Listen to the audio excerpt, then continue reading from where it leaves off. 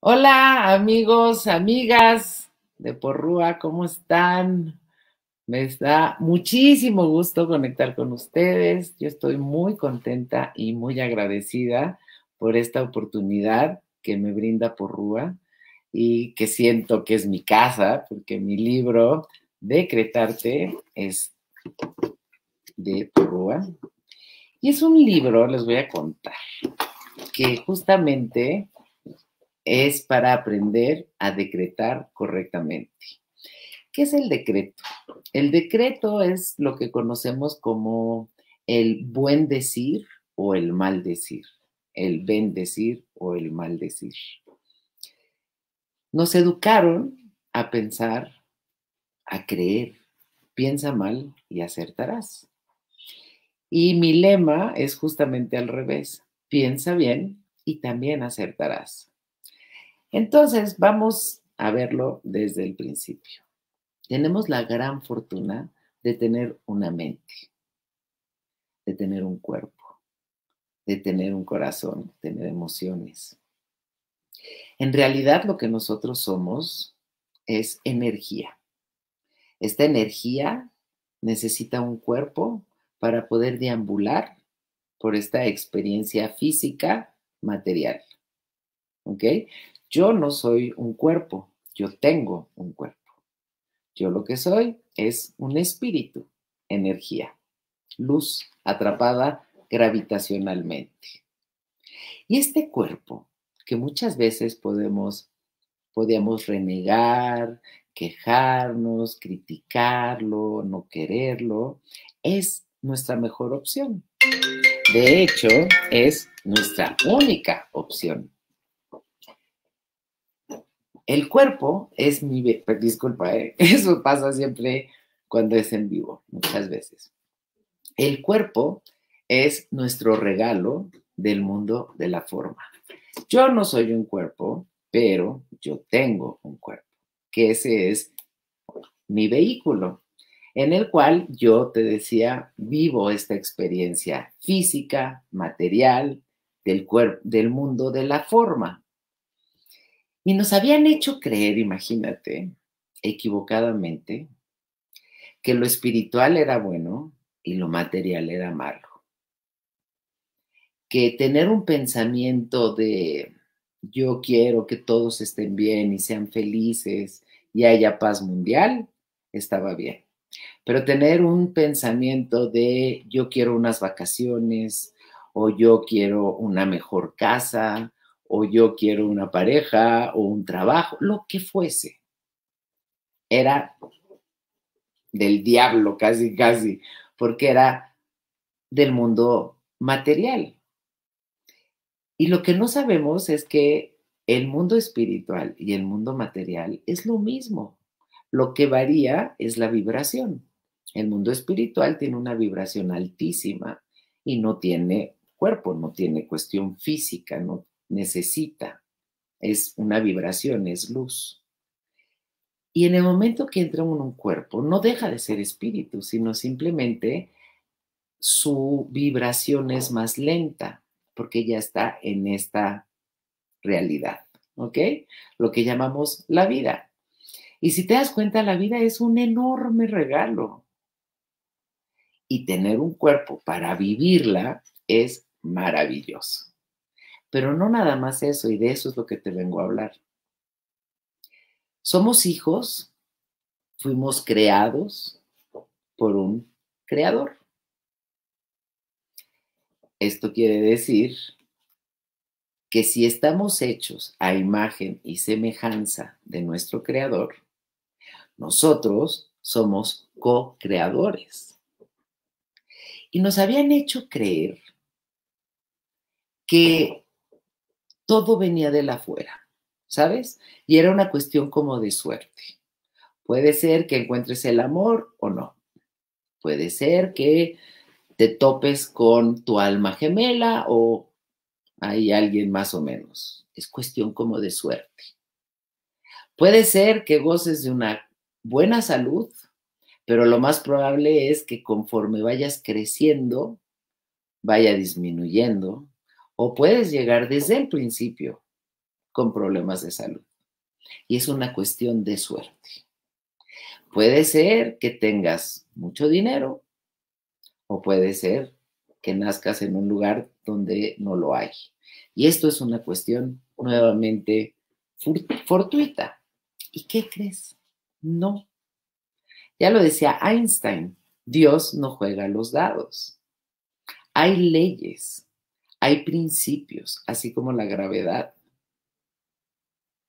Hay igualmente principios que nos dicen, toda causa genera un efecto y ese efecto siempre regresa a su causa. La ley de causación o de causa y efecto. Que puesto en nuestro nivel lo que quiere decir es, todo lo que salga de ti, a ti va a regresar. Entonces esta ley tira todas las creencias de que existe la suerte, los accidentes, las casualidades. Resulta que no, que hay causalidades. Y pon atención, porque esto es para ponerse bien contento, bien contenta. Yo sé que en la mayoría de el público ahorita hay mujeres. Somos programados. Nuestra mente, que es lo que nos une con la esencia y con el cuerpo, es como este programador, como esta computadora, y está programada, decíamos y está programada con creencias. ¿Y qué es una creencia? Una creencia es algo que ya me creo, que no pongo en duda, ¿sabes? Y muchas creencias limitantes, porque puede haber creencias limitantes y puede haber creencias que motivan, ¿ok? Muchas creencias limitantes en relación a la mujer era que si eres mujer vas a sufrir, que si eh, mamás cuando tenían una niña era de, ay, no, qué horror, va a sufrir mucho, que la vida era mucho más difícil para las mujeres, etc. También se nos hizo creer en muchas ocasiones que éramos como ciudadanas de segunda, ¿sabes? O sea, si hay dinero en casa para que uno de mis dos hijos estudie, pues va a estudiar el varón, porque él sí va a mantener una casa, etcétera, y ella pues igual se va a casar y no necesita. Yo sé que estas creencias también han cambiado. El día de hoy las chicas están mucho más enfocadas en justamente romper estas creencias. Si te das cuenta, están estudiando, se están preparando, quieren trabajar, quieren superarse, pero es de un ratito para acá. Y vemos cómo las cosas van cambiando que es una maravilla, que es la evolución. Pero aún esas chicas que están cambiando y que están trabajando y tal, puede ser que siga la programación de el amor duele. Si te enamoras, pierdes. Quien te ame, te hará sufrir. Y toda esta bola de tonterías, que si te das cuenta, simplemente son creencias. ¿Sí o no nos habían dicho? Ay, el, la mente es la parte inteligente y el corazón es bien tarugo, bien tonto. Si yo sigo mi corazón, no sé dónde voy a parar. Imagínate. Cuando la mente, claro que es la que crea, es la que tiene esta posibilidad de imaginar. Y si tú te das cuenta, todo lo que tú has vivido, tú lo habías pensado antes bueno y malo. No hay nada que tú hayas vivido que tú no hayas dejado entrar. Por eso, la importancia de ser mucho más selectiva con lo que voy a dejar entrar en mi mente y de hacer como una limpieza mental, ¿sabes? Volverme a cuestionar, a ver, ¿el amor duele? ¿No? ¿Todos los hombres engañan? No, no todos.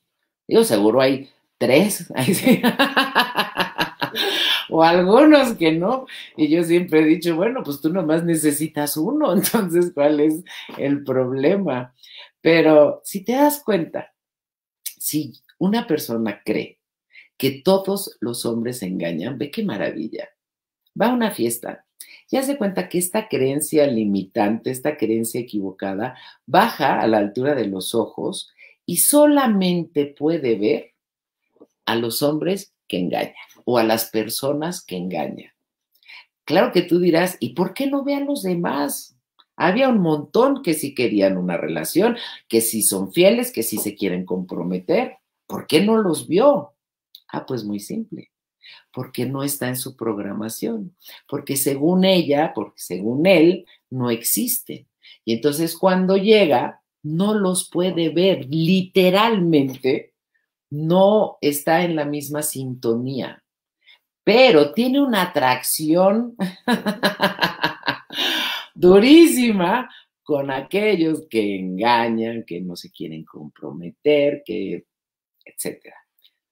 ¿Sí o no? Tú y yo conocemos mujeres, también hombres, que los han engañado en una relación, terminan, ay, qué horror, sí, nunca más.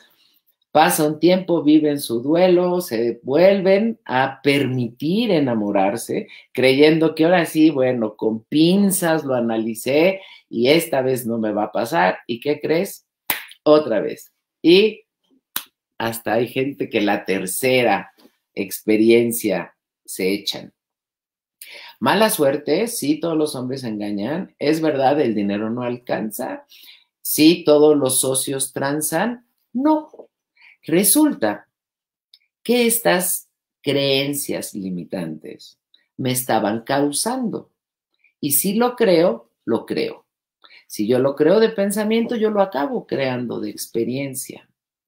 Entonces, para que veas que esto sí funciona, no se trata tanto de hacer un trabajo acá afuera. Hay un dicho que dice, quien busca trabajo rogándole a Dios no encontrar. Obviamente no lo va a encontrar. ¿Por qué? Porque no quiere y porque su deseo es ley. Entonces yo te invito a que no sea tanta mi atención en el afuera, porque el afuera ya es el efecto. A que tu atención esté en la causa en tu mente. Yo quería escribir un libro hace muchos años. Llevo más de 28 años dando clases, talleres, pláticas, cursos. Y siempre decía, pues es que no tengo tiempo, pero escribía y escribía y ahí tenía yo mis notas. Y entonces un día voy a un programa con Charo Fernández, le mando un beso y un abrazo muy grande. Y saliendo, nos encontramos a alguien. Y ay, hola, Charo, le dice él. Y Charo le dice al caballero, ay, mira, te presento a Marta Sánchez Navarro, José Miguel Porrúa y yo. Yo que vi en mi mente, porque así trabaja la mente, amigos, ves imágenes. Y yo vi mis cuadernos de primaria o de secundaria que decían aquí editorial Porrúa. Y dije, dos y dos son cuatro. Yo he querido escribir, yo quiero escribir un libro. Aquí está. Y me pregunta, oye, mucho gusto, ¿has escrito algún libro? Y le digo, no, pero quiero. ¿Tienes algo escrito? Sí, mándamelo. Va. ¿Cuántas veces llega la oportunidad? Ahora sí que el balón está en nuestra cancha y por miedo, incertidumbre, lo que quieras, nos paralizábamos. Yo lo que hice fue mandarle lo que tenía. Y me dijo, está muy padre, pero este material es para alguien que ya tomó tu curso. Yo quiero que me escribas algo que lo pueda leer. Ahí en sus oficinas me sacó a la terraza y me dijo, el señor del estacionamiento, eh, la señorita gerente del banco, el que está limpiando los coches, o sea, que lo entienda cualquiera. Y dije, oh, va, me fui a mi casa, tengo dos hijos, y en una Semana Santa que mis hijos se fueron con el papá, y claro, fluyó. ¿Por qué? Porque yo ya lo traía en mi mente. Sabía que quería escribir un libro y de qué quería hablar. Un libro que para mí es la Biblia, así mi pauta, es El Kibalión. Se los recomiendo, El Kibalión. Lo puedes encontrar como autor Hermes, Trimegisto o los tres iniciados. Este es un cúmulo de máximas y axiomas legendarias, ¿ok? Se cree que eh, Hermes fue contemporáneo de Abraham y que mucha de la información de Moisés viene de ahí. Es un libro así, chiquitito, que trae los siete principios universales, las siete leyes cósmicas. Para mí es como el instructivo del juego de la vida, porque ya quedamos que somos un espíritu, que somos luz y que estamos aquí para vivir, para aprender, para disfrutar, para ser felices. Cuando oímos esto, ser felices es como, qué irresponsabilidad, ¿cómo voy a ser feliz cuando hay tanta gente que sufre o tantos problemas o la situación que estamos viviendo? Si nosotros postergamos la felicidad para cuando todo esté bien, pues obviamente nunca vamos a estar felices. Y más que la felicidad, yo te hablo como de la paz, como de este equilibrio, como de, ay, ¿sabes? Que, que llega después de los 30, yo creo, porque si a los 20 años le decimos a un, o a los 17 a un adolescente que la paz es el mayor tesoro, diría que flojera.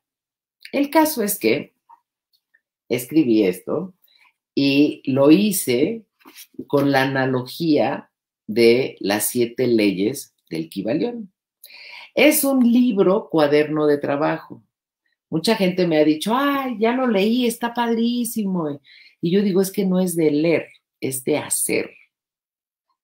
¿Y qué es lo que hago? Después de tantos años de dar cursos, me doy cuenta que la gente toma la información, pero le costaba trabajo aplicarla, sentarse y hacerla.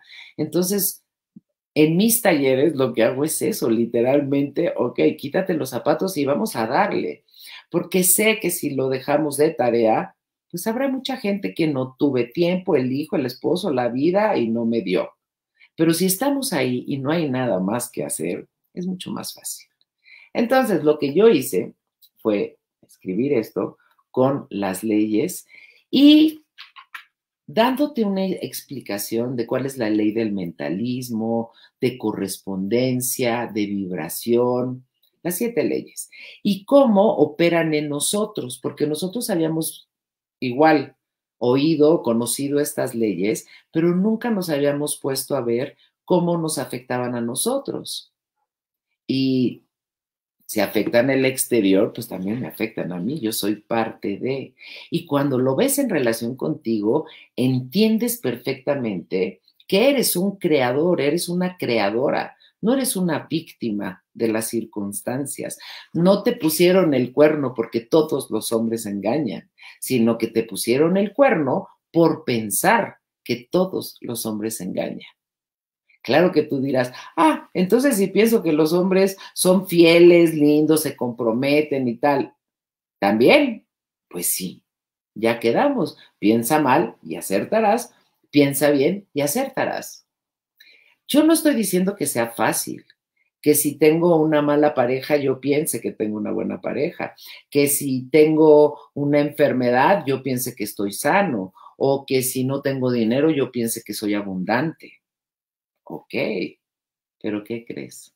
Estás viviendo esa situación no por mala suerte, no por accidente, no por casualidad, sino por una causalidad.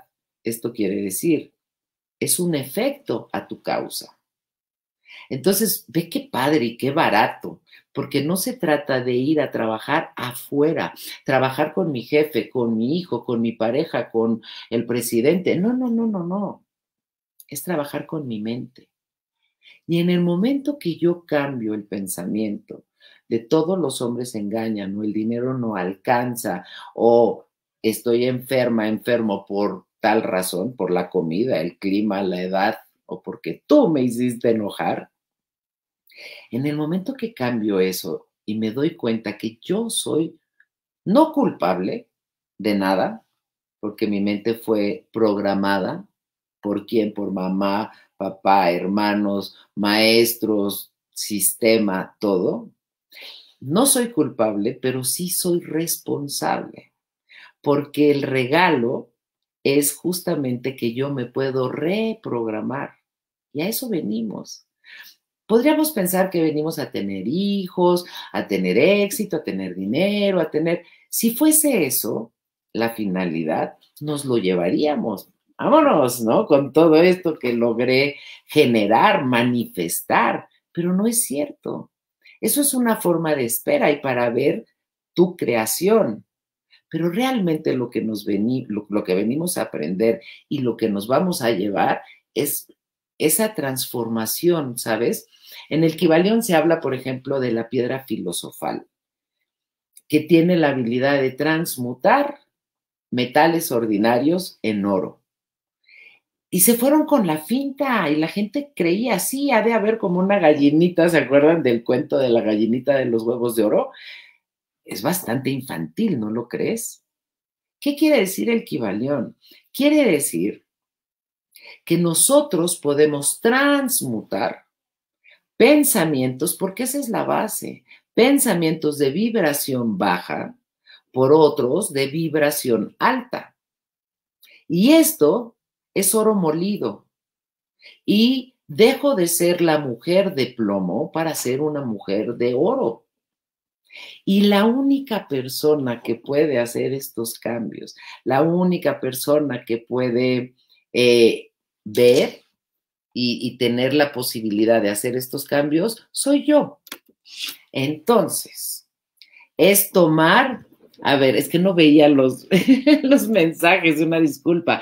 Hola, interesantes, como siempre he querido saber sobre el tema. Gracias, Brillo. Eh, mis padres eran de esa idea. Sí, claro, la mujer, pobrecita de ti, los hombres la tienen más fácil. Decían algunas abuelas que mujer que nace, mujer que sufre, imagínate. Y eso, y además que si ya te habías casado y no te había ido bien, pues ni modo, ahí te aguantas, es la cruz de tu parroquia y todas estas tonterías que sabemos y nos damos cuenta que no es verdad. Dice, sí, mi abuelita decía, prepárate, hija, las mujeres nacen para servir al marido. Nunca estuve de acuerdo con ella. Fantástico, y estoy segura que te preparaste para no hacerlo. Lo quiero, sí, y además está súper accesible, ¿eh? de verdad. Marta, ya me compré mi libro. Gracias, Lu. Oigan, bueno, como les iba diciendo, es un placer responsabilizarme. ¿Qué quiere decir responsabilidad? Porque tienes que ser responsable y uno dice, ay, ya, qué flojera, no quiero como lo que puede ser sacrificio y todo esto, no. Responsabilidad simplemente quiere decir escoger la mejor respuesta. Y eso, eso sí depende de mí. La única persona que puede escoger la mejor respuesta soy yo. Porque a lo mejor lo que yo creo que es bueno para mi vecino no lo es. O para mi hijo. ¿Cuántas veces nosotras como mamás creemos, ay, mi hijo me dice, quiero ser músico. No, hombre, estás loco. O sea, este quiere ser vicioso. Como si viniera con, bueno, ok, pero estudia algo. Plan B. Y ahí ya metimos la duda.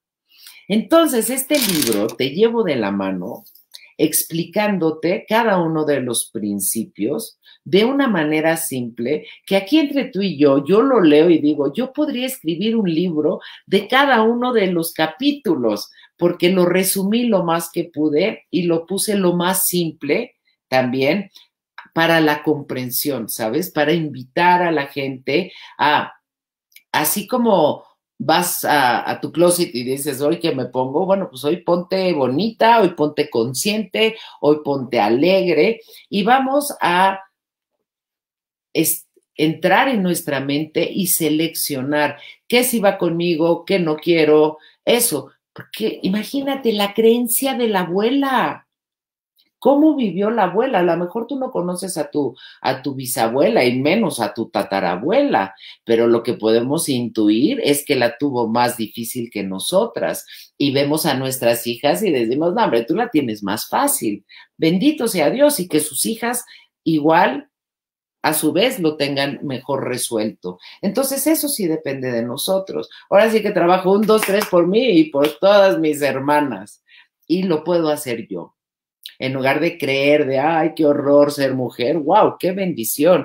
A ver, la primera eh, característica que tenemos como mujeres, además de nuestra dulzura, nuestra sensibilidad, nuestra intuición, nuestro servicio, etcétera, es el poder traer vida. O sea, todos, todos, todos llegamos a través de nuestra madre. Claro, la sexualidad de papá y de mamá, pero mamá fue el, horno, como quien dice. Hola, buenos días, saludos desde Tepic. Muchas gracias, Mauro. Norma, hola, quiero el libro. Ya quedamos. Gracias por compartir, bendiciones. Interesante, siempre he querido saber sobre el tema. Decía, sí, que es que creo que ya los estoy repitiendo, pero estoy muy contenta porque ya los puedo leer. Entonces, amigos, amigas, si tú quieres, yo quiero. ¿Qué necesitas para esto? El libro y un lápiz.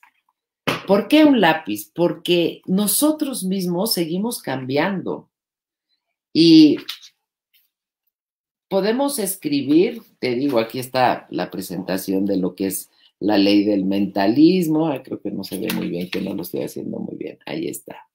Y entonces te explico. Y luego hay ejercicios, haz de cuenta, escribe los pensamientos negativos que percibes y cómo te hacen sentir. Pues obviamente no, padre. Y ahora los positivos y cómo te hacen sentir. Porque, ¿qué creen? Mi cuerpo es el termómetro. ¿Qué tal? Cuando algo es para mí, mi cuerpo se expande, hasta decimos, no quepo. Y cuando algo no es para mí, mi cuerpo se contrae.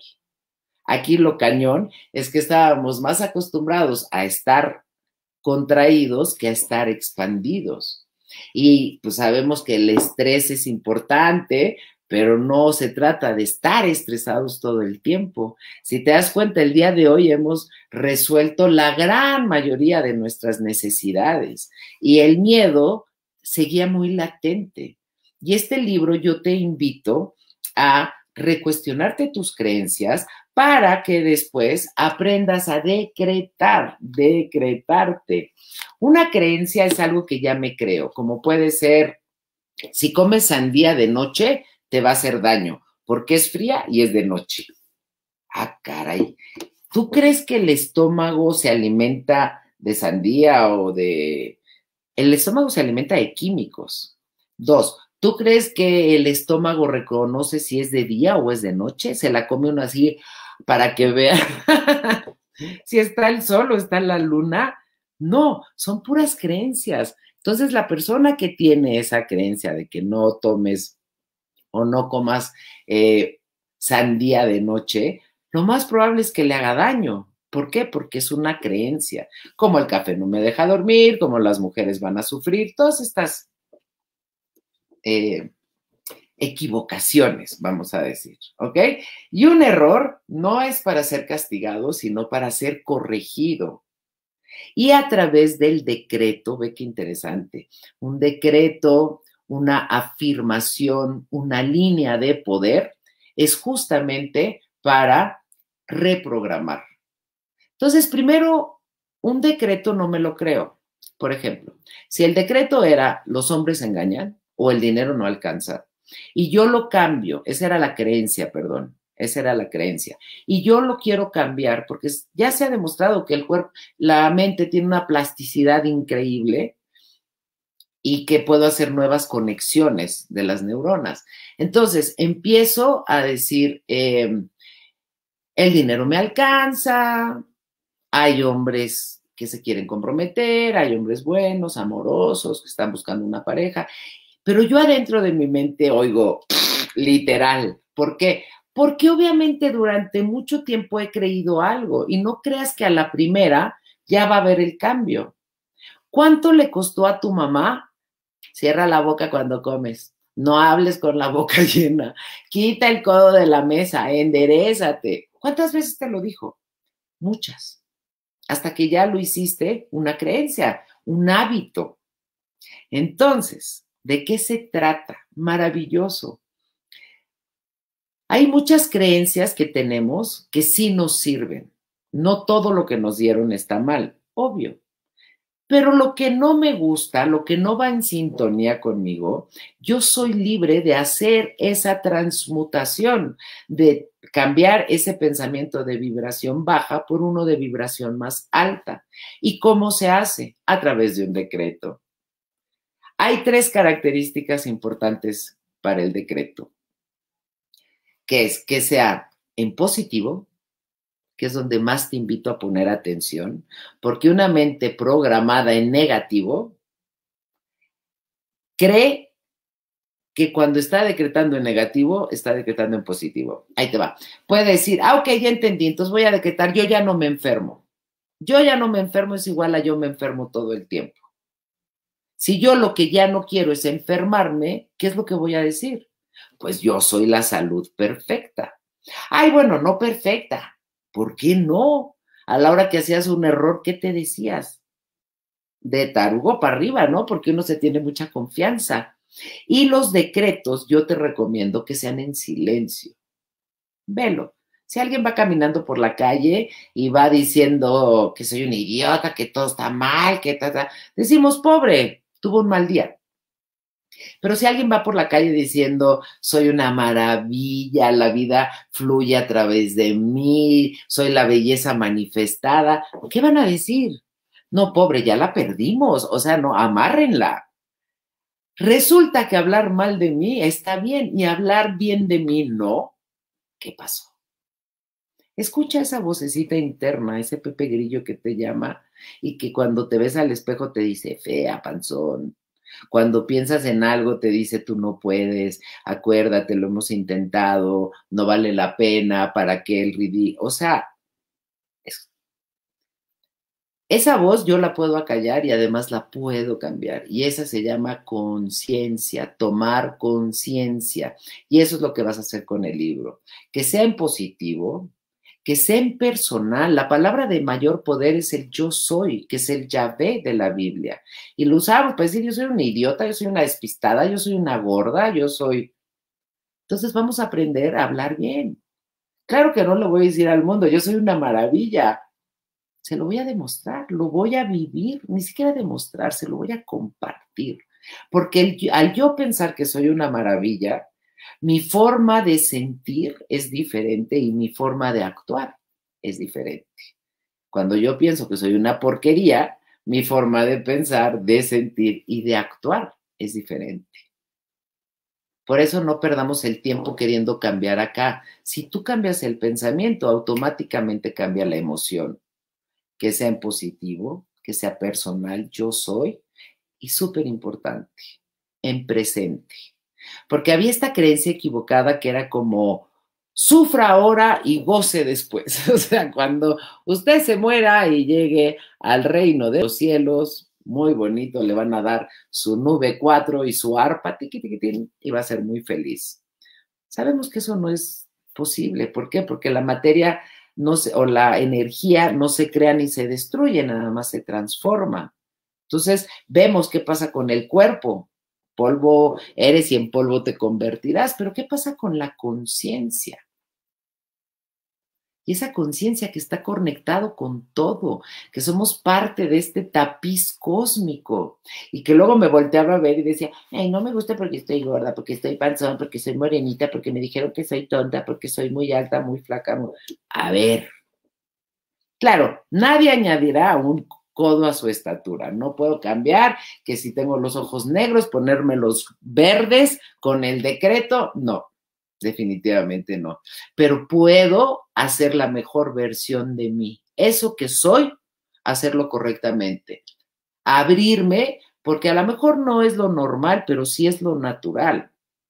A vivir una vida sana, abundante, amorosa, exitosa, la única razón por la que estamos aquí, imagínense, en esta escuela educativa de tiempo completo, es para aprender el amor incondicional y ser felices. ¿No está increíble? El amor incondicional. Y si te das cuenta, pues a todos les guardábamos tantito rencor. A mi hijo porque me contestó feo, a mi marido porque no me apoyó, a mi mamá porque no estuvo, al del viene, viene del coche porque casi choco y no me avisa, y ya ni hablar lo que teníamos en contra nuestra. Entonces, por eso también la importancia de la conciencia, de entender a quién es al que vengo a amar primero que nada, a mí. Y no es un acto egoísta ni narcisista, sino simplemente es un acto de responsabilidad. Ama a tu prójimo como a ti mismo. Vamos a cambiarlo. Como a ti mismo, ama a tu prójimo. Como verás, la tarea está fácil y divertida. No te tomes tan en serio. Saca a tu niña interna a jugar. También hablo de eso en el libro. Y toma acción. No hay una pastilla, no hay una vacuna, no hay un chip que nos puedan poner y ya mi mente cambió y todo se, se arregló. No, es cuestión de trabajo, de labor, por así decirlo, de esfuerzo, pero es que sin esfuerzo no hay crecimiento y sobre todo de elección, porque te repito, quizás lo que es bueno para mí, para ti no lo sea. Y eso es lo que la vida la fuente Dios ama, que es la diversidad. Cada uno de nosotros tenemos esa presencia individualizada de Dios en nosotros y tenemos la libertad de crear una vida maravillosa. Recuerda, si tú eres el director, el productor, el escritor y la actriz o, actor principal, escríbete una gran historia. A través de este libro lo vas a poder lograr. Y también me gustaría invitarte, este 5, 6 y 7 voy a tener un taller ya presencial, bonito, con todas las medidas de seguridad y de sanación, de, de, sí, de salud que se necesitan. Además es de silencio, entonces no vamos a hablar, no hay esto. Eh, es en un lugar maravilloso, en Morelos. Si quieres, ahí está nuestro teléfono, ponte en contacto conmigo y para mí va a ser un placer poder compartir esto. También hay un curso de conciencia de salud, pero ya se llenó, ya se cerró y va a haber nuevamente en diciembre. Y en noviembre voy a dar barras de access. El caso es que si quieres trabajar, si tú quieres, yo quiero. Acá estoy para ti. Déjame ver más. Genial, ferocidad y gracia. Excelente. El libro nos ayudará con ese empujoncito que quizás nos hace falta a algunos. Claro. Gracias por la información tan interesante. Bueno, pues si alguien tiene alguna pregunta, por favor, aprovechenme. Aquí estoy. Muy, muy contenta, muy agradecida. Eh, Recuerden que lo que es esta creencia, espérenme tantito.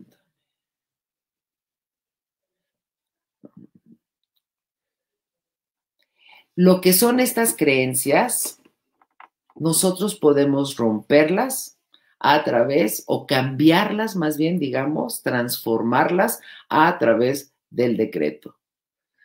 Por favor, si comparta todas sus conferencias. Bueno, si me buscas en YouTube, Marta Sánchez Navarro, yo subo todo a mi canal. Hoy les voy a compartir, estoy muy contenta. ha sido y sigue siendo un día muy lindo. Tuve a las nueve de la mañana una entrevista con Mindalia, que es un canal eh, español que está en todos los, llega a todos los rincones del planeta con un congreso que se llama Vida y Conciencia, que empezó hoy, y yo fui la que lo abrí a las nueve de la mañana, entonces ahí está, ahí también hay información que dice si lo puedes pensar, lo puedes vivir. Luego, a las 10 de la mañana hoy también se proyectó en YouTube, en el canal de Luz María Cetina, una entrevista que grabamos hace como dos semanas de reprogramación.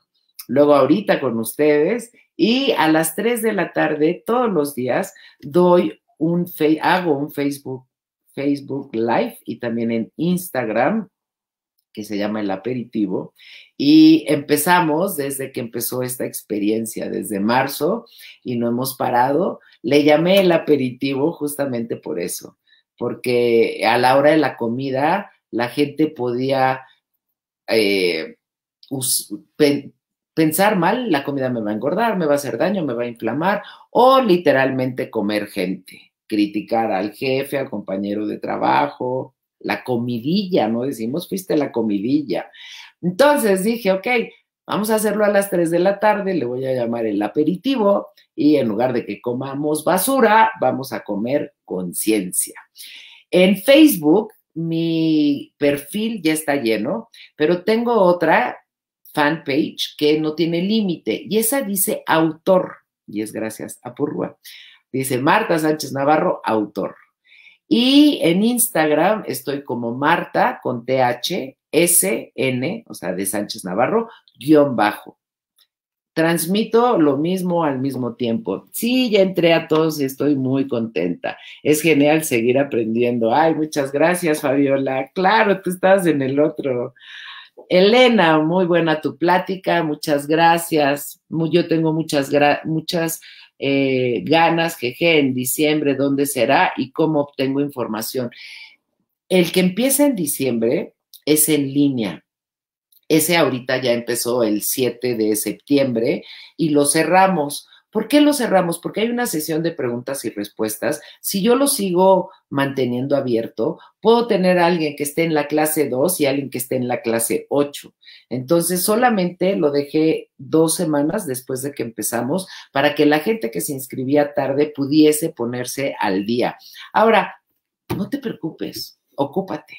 Acuérdate que todo es perfecto y que eh, todo llega cuando debe de ser en diciembre va a ser un momento bien lindo, tomar esa energía que quiere decir invernar, ¿sabes? Y que es hasta primavera que salimos. Entonces, si tú me lo permites, yo con mucho gusto te ayudo en esta cuestión de introspección y de invernar a que trabajemos juntos. Ya están grabadas las clases, las puedes ver a la hora que quieras, desde el dispositivo que quieras, y una vez a la semana hay una sesión de preguntas y respuestas, que de hecho es hoy, con un grupo que termina y con otro que fue el que empezó en 7 de septiembre, y ahí disipo dudas, preguntas, este, comentarios, lo que quieras. ¿Ok? Eh, disculpa, acabo de entrar, no sabía de esta transmisión. ¿Cuál es el título del libro? Decretarte, el arte de alcanzar tus metas.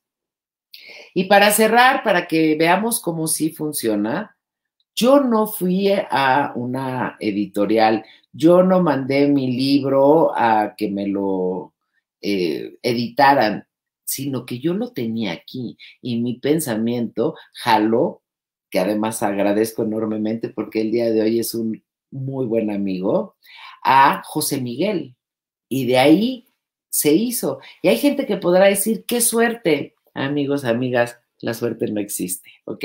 Si tú quieres, yo quiero, yo te echo la mano y trabajemos juntos. Bueno, creo que ya estamos acabando. Eh, te repito, aquí está mi teléfono, si quieres también por WhatsApp, 55 69 86 26 23. Y mi nombre, Marta Sánchez Navarro. Estoy en Facebook, estoy en Instagram y estoy en YouTube. Me va a dar mucho gusto compartir contigo. Muchas gracias por conectarte. Recuerda que tu vida es tuya, que tú eres la actriz, el actor principal y que sí puedes crear el universo, este, este eh, paraíso en la tierra, tu paraíso. Muchas gracias, que Dios te bendiga y espero que nos veamos pronto.